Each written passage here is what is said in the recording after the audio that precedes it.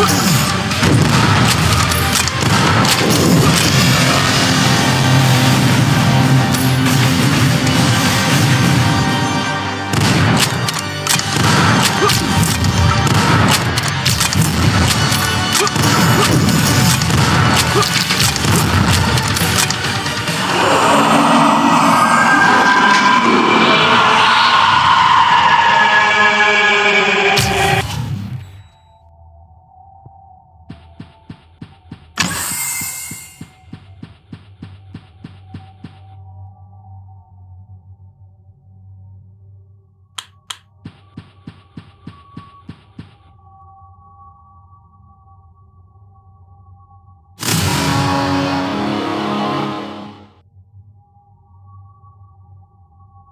When the sun rose, I came out of the cabin.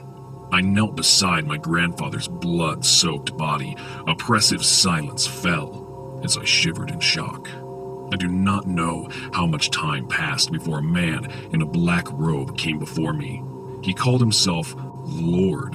He offered me a way to channel my grief, the path of a dark knight who hunts demons. I would become their nightmare, dread Templar.